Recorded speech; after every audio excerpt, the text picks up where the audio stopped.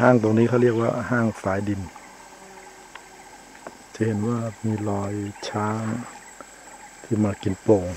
แล้วมาทากินน้ำที่ตรงนี้ จะเห็นมูลของช้างอยู่ตามหนองน้ำนี้เป็จำนวนเยอะนั่นก็แสดงว่าช้างลงมากินโป่งตรงนี้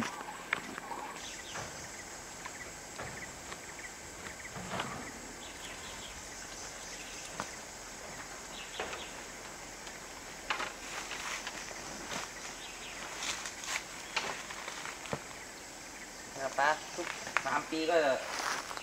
ตลอดสามปีเฝ้าห้างอ๋อเฝ้าถ่ายภาพเก็บข้อมูล จนเพื่อนเพื่อนด้วยกันนี่พูดติดตลกว่าผมเป็นเจ้าของห้างในห้างนี่ต้องมีแบบนี้ลักษณะแบบนี้ประมาณสิบห้างครับใช้เก็บข้อมูลถ่ายภาพ ก็จะได้ดูนกตอนเช้า นกเยอะตอนเช้าอุปกรณ์ก็อุปกรณ์ที่จำเป็นครับตรงนี้เป็นเทคนิคพิเศษของนักเดินป่า ในการที่จะนำเสบียงขึ้นไปบนห้าง ถ้าอย่างเราเราๆท่านๆ ก็คงจะคิดว่าจะต้องแบกแล้วก็ปีนขึ้นไป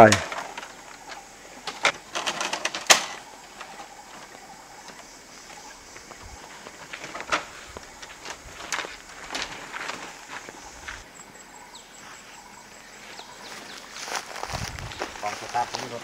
รถติดเอ็นเอ้า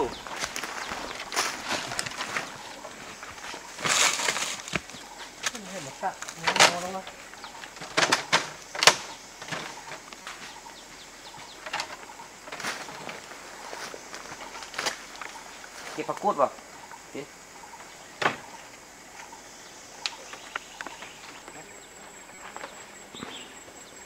หนองดินทางนี้เป็นแหล่งที่ให้น้ำกับสัตว์ป่า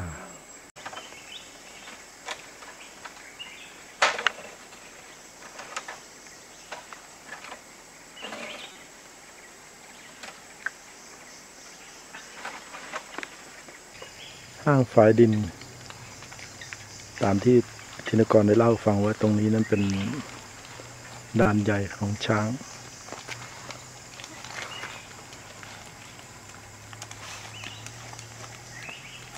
หัดรถให้เมื่อวานนิดนึงนะคนนั้นนั่นน่ะคนละขับเมื่อกี้นะไปรอดพระพุทธนะเหยียบใจนะว่าเอ้าดีๆด้วยเว้ยกล้องเป็นแสนนะเงินแสนขึ้นมาแล้วนี่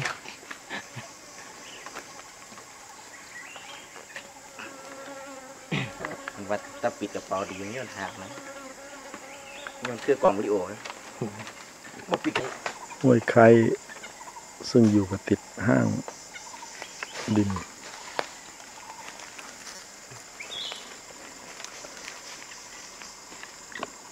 ครับ แต่ว่าที่พวกออกมาอีกกับหลายเอออืมหลายก็หาตัวครับขอกล้องด้วยก็ลงในสิบหา ก็หลงหลงจากห้างสิบห้าเราก็ลูกน้อย ลูกน้อยเห็นลูกน้อยที่ออกไม้ประมาณสามตัวครับน้อยที่นี่นะครับก็สูงประมาณเล็กเลยครับผมขายยอดผักขมฝาดครับ เป็นยาได้ไหมเป็นผักนี่นะครับ เป็นผักกินกับลาบกับปลา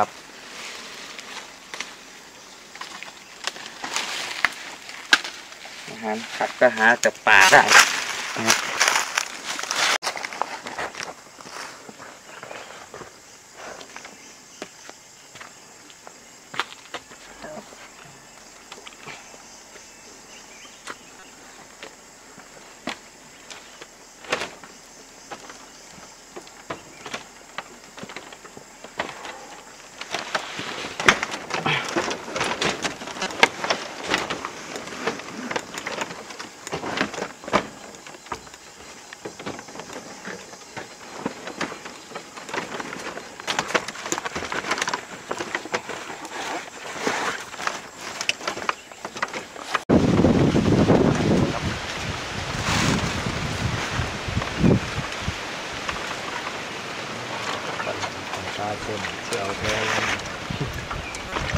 บบนอนเดี๋ยวปากกันนอนเดี๋ยวขันล้มมาสิผมไม่ค่อยใหญ่เลยบนลมมียางเนี่ยขันบนล้มนิ่งๆขึ้น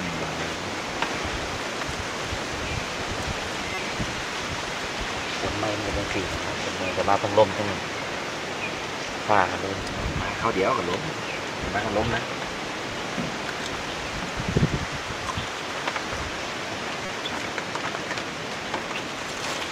นนี้พักยังไงลมฝาดลมปาดขมฝาดขมปาดมีทั้งสองรสชาติกลมทั้งฝาดอร่อยส่วนมันในแถบเขาเอินมาดูน้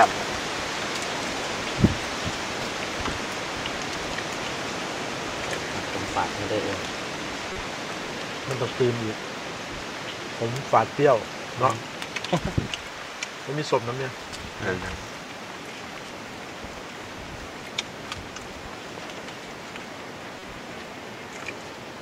จอมากินกับปล่อยถ้ากันยอดอ่อนในแถบเป็นพวกปานนี้เลยนี่พอดี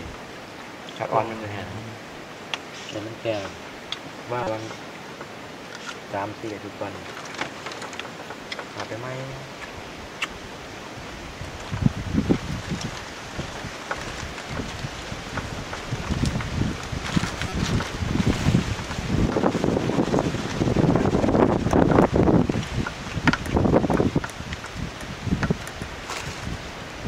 ตัวที่ว่าเจอสร้างเจอที่ไหนนี่เลยครับไอ้สร้างเหยียบเลย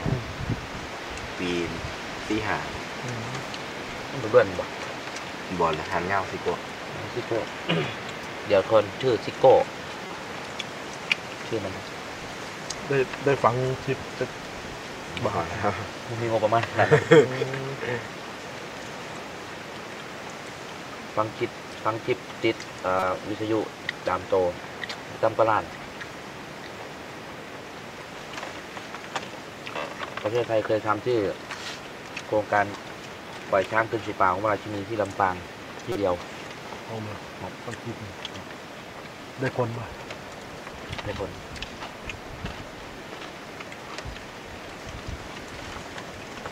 แล้วในประเทศไทยนี่หาผู้เชี่ยวชาญในการใช้ปลาสยาสโลกับช้างหอยคนบ่ถึงสิบ